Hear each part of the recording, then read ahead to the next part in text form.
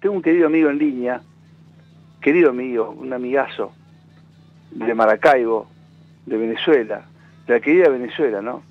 Qué calidez, es increíble la cantidad de venezolanos que hay en Argentina, a pesar de que muchos pasaron y se fueron, ¿no? Porque temieron lo peor, temieron lo peor. Gracias a Dios y al de la fuerza que ellos le pusieron junto con muchos colombianos y otros que están aquí, peruanos y demás, bueno, no pasó lo peor, gracias a Dios, no pasó. Una vez me dijo una venezolana divina, me dijo, eh, Nacho, dice, tanto nada para llegar a la misma orilla. Porque temían que acá emprendíamos el camino del totalitarismo, ¿no? Pero bueno, no fue, che. Se van en pocas horas los K. Parece mentira, ¿no? A 40 años de la llegada de Alfonsín, que yo, a mí me cuesta muchísimo hablar de Raúl porque, porque yo lo voté en el 83. Fue mi primer voto en democracia. Y la emoción que sentíamos a pocas horas, ¿no? De la Asunción, hace 40 años, era inmensa, ¿no?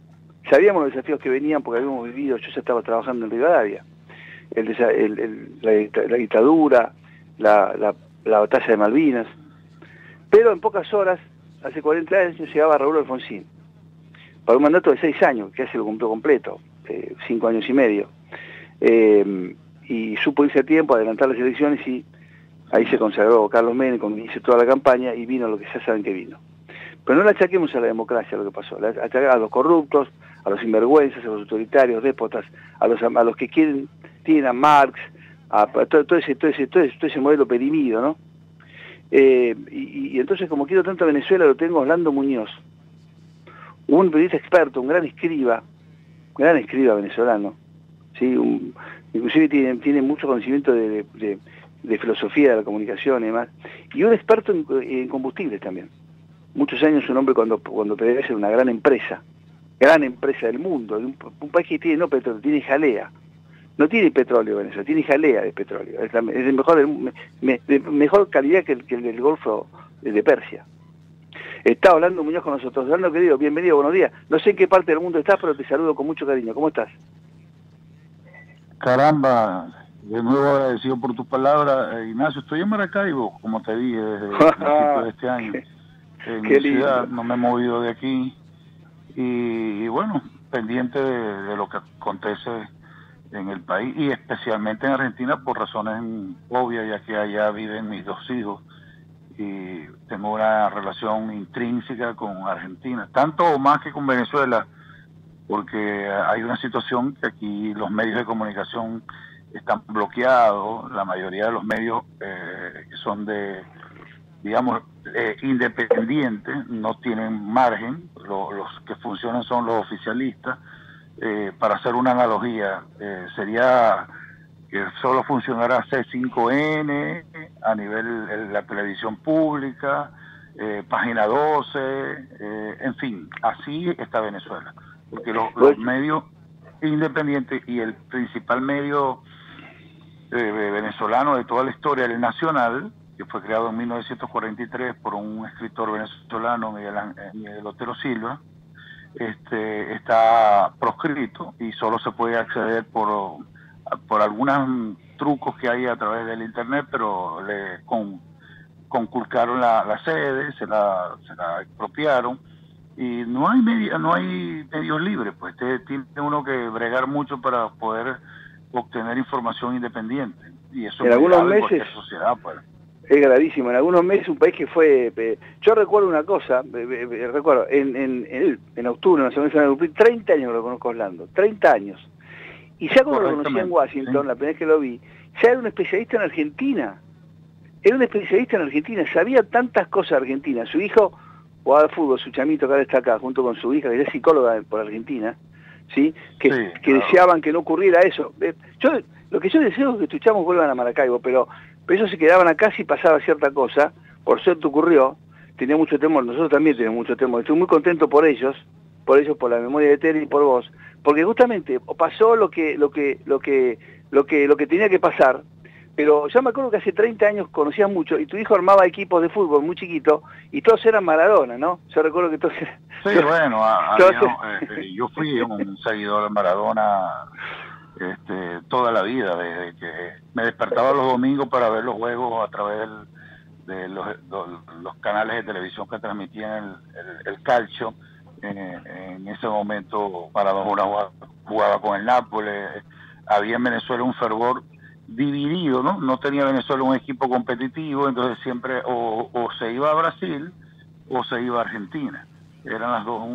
Brasil porque el juego bonito, por lo que constituyó Pelé, el, eh, el tetracampeonato, el, el, tricampeonato en Brasil. Y yo creo, yo vi ese juego, yo tenía 10 años el día que Brasil le ganó 4-1 a Italia. Pero por el otro lado, Argentina, después cuando, cuando explota Maradona, que se convierte en una figura descomunal, me acuerdo que el pase de Maradona costó 10 millones de dólares al Barcelona. este eh, eh, eh, Bueno, se generó una gran expectativa y toda la carrera de Maradona fue muy seguida aquí en Venezuela, siempre, ¿no? Siempre, muy siempre. Orlando, y una cosa que yo siempre digo, que vos seguramente, cuando Alfonsín asume, siempre ponía como él decía, claro, 83, él deseaba diseño de democracia continua, lo señalaba, ¿no? Y por suerte lo tuvimos. ¿Sí? Pero él ponía como ejemplo Venezuela, ponía como ejemplo la continuidad democrática de Venezuela, hablando. Sí, claro, este y, y, y, el, y recuerdo porque coincidió esas elecciones con las elecciones en Venezuela en el 83 y él usó un eslogan que era Alfonsín con la con la, eh, la S y la I. Sí, claro, ahora sí, ahora Alfonsín, ahora sí, claro, claro. Y sí, y el candidato que ganó aquí en Venezuela en el 83 era Jaime Lucinchi, entonces claro. el mismo SI de, de, de Alfonsín, porque tengan idea. Lo pero, Venezuela traía años de continuidad democrática, de progreso, de crecimiento, y lo ponía como ejemplo, claro, la democracia venezolana. Sí, claro, claro, claro, claro. Y además aquí, como lo hemos dicho y lo reiteradas veces en tu programa, Venezuela fue eh, eh, un país que recibió a muchísimos miles de argentinos, chilenos, uruguayos. Bueno, vos tenés una parrilla abajo, creo que en tu casa tenés una parrilla de argentinos. Sí, que por eso claro, vos eh, acuñaste el término cariñosamente de... lo primero que me dijiste, es, no, me, no me habías visto, y tu grito de saludo fue, ¿qué haces? ¿Dónde está ese boludo? Pueda, porque escuchaba siempre...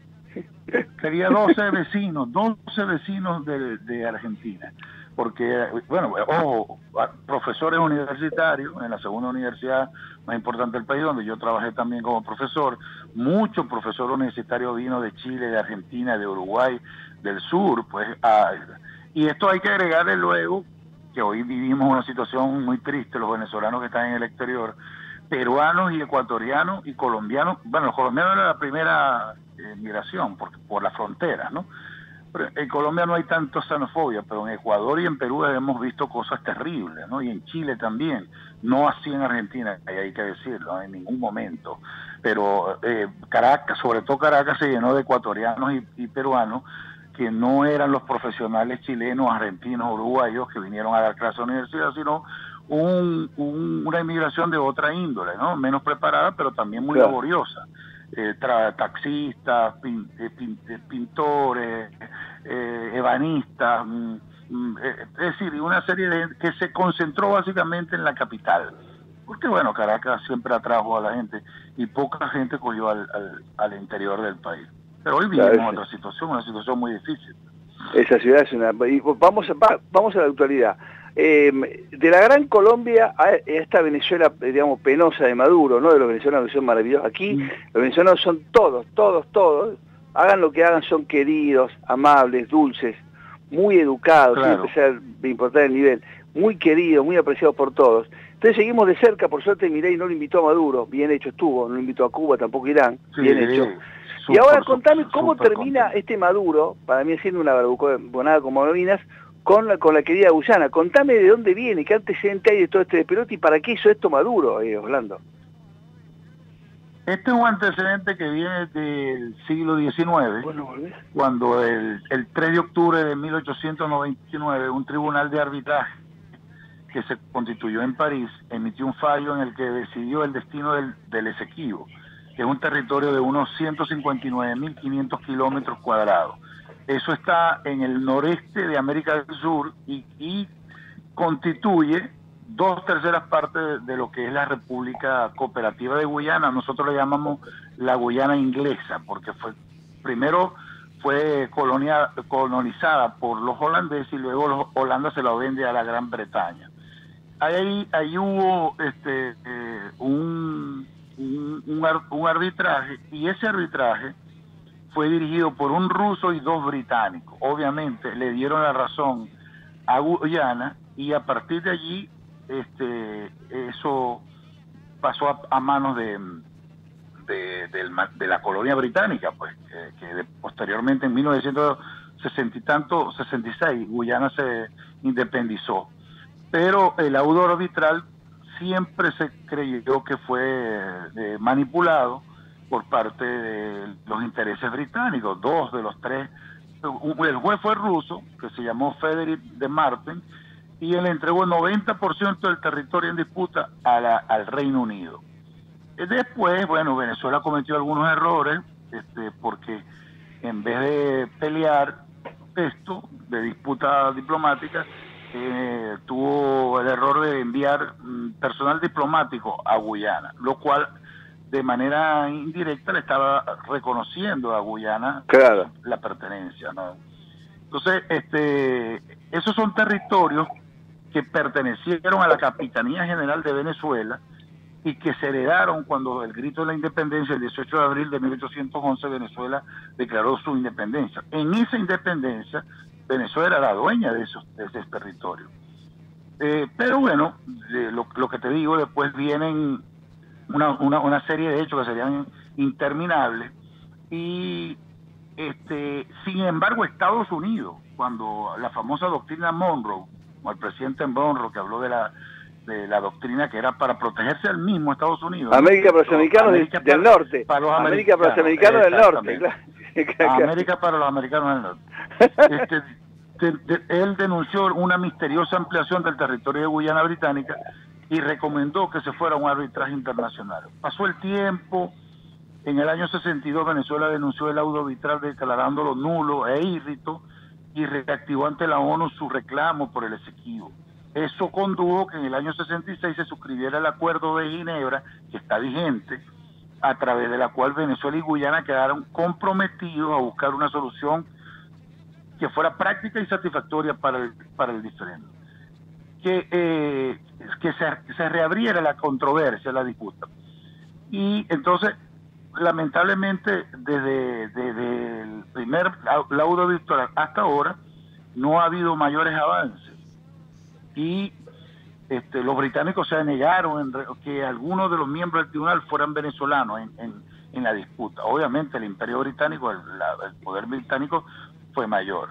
Y así hemos llegado a una situación de, en la cual eh, Guyana eh, aparecía en el mapa de Venezuela como una zona de reclamación, pero no, no es sino hasta hace algunos años, unos 5 o 6 años atrás, cuando Guyana, en, en, el territorio en disputa, consigue unos yacimientos petroleros Ahí está, como siempre el petróleo, eh, Orlando. y de ser el país, después de el país más pobre de Sudamérica, porque Sudamérica no comienza en Venezuela, sino que ahí está eh, Surinam, la Guyana francesa, que está del lado, de la, al lado de, de, Surinam, y del lado izquierdo, pegado a Venezuela, está la Guyana eh, inglesa. inglesa. Entonces, cuando se, cuando se descubre el hallazgo petrolero, Venezuela, por supuesto, comienza a actuar para recuperar el territorio. Y es un poco lo que hizo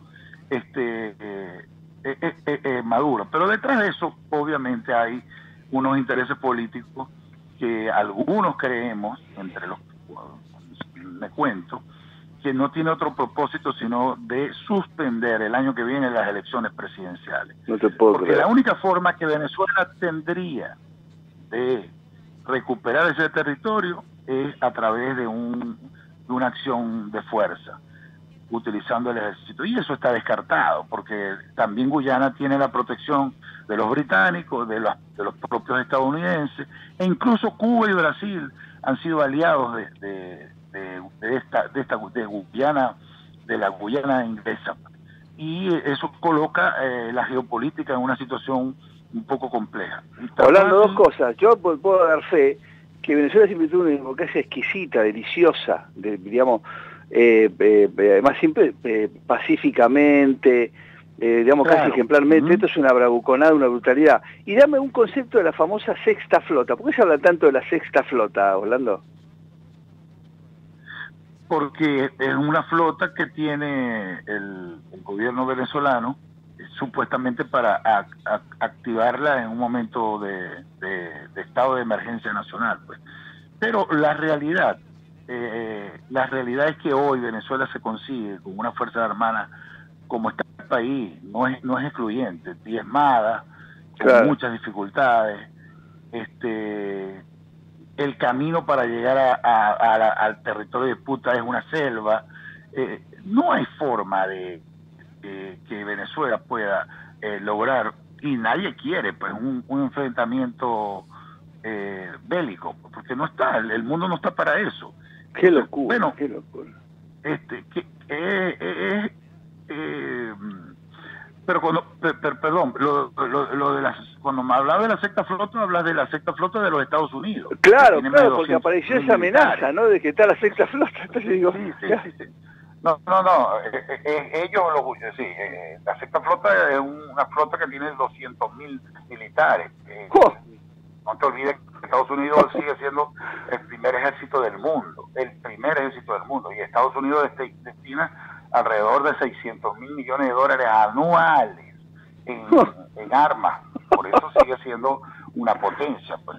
Solo lo supera Rusia en armas nucleares, pero en todo lo demás Estados Unidos es por lejos, pero por lejos el primer ejército del mundo.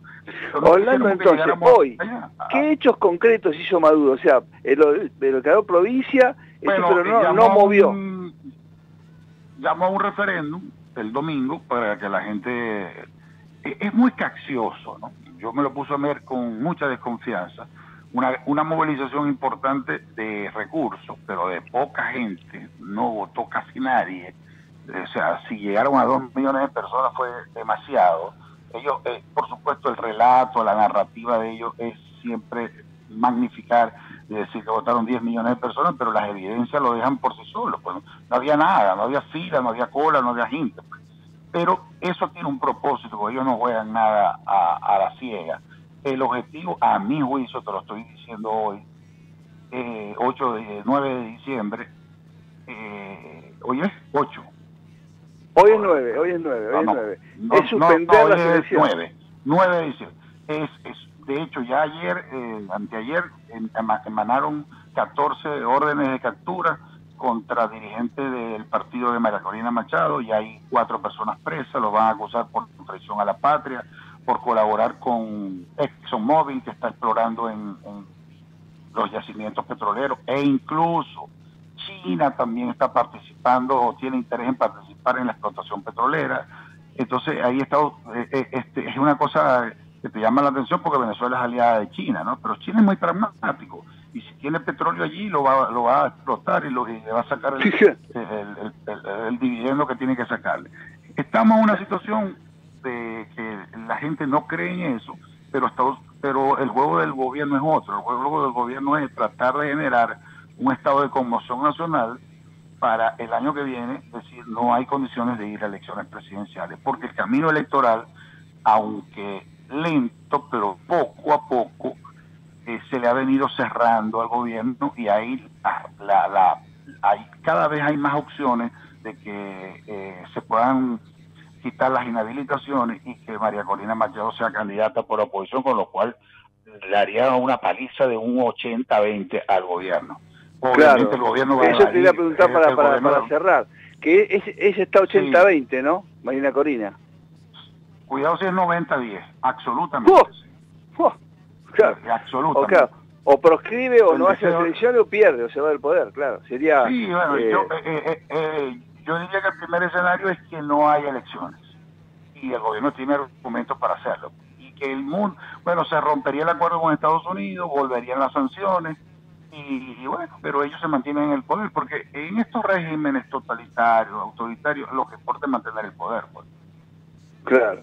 Orlando, como siempre, apreciamos muchísimo. ¿Cómo, ¿Cómo está ese Golfo de Maracaibo? Bello, como siempre, ¿no? Una hermosura. Bello, sí, hermoso, sí. Eh, lo tengo muy cerca de donde yo vivo. A pesar de Maduro. Es un lago, es muy bonito. Es, bueno, es la esencia de nuestro estado, el lago de Maracaibo, uno de los eh, de los lagos más extensos de agua dulce que hay en América. Y escuchamos hablando con uno de uso único, en esa ciudad y no en Caracas, en esa ciudad, corregime, el Teatro Nacional cantó Gardel y estuvo mi tío abuelo tocando la guitarra, ¿o no?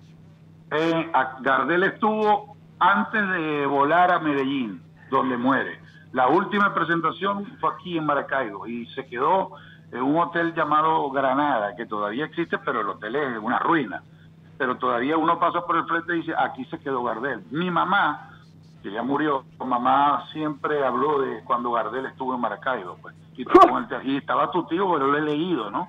Era eh, eh, uno guitarrista, claro, uno, Ángel Domingo, Ángel Domingo. Orlando, como siempre, muy emocionado de escucharte, eh, te mando un, muy afectuoso saludo, sos un experto, nos explicaste muy bien lo de Guyana, eh, muy muy bien con los antecedentes desde la independencia venezolana hasta ahora.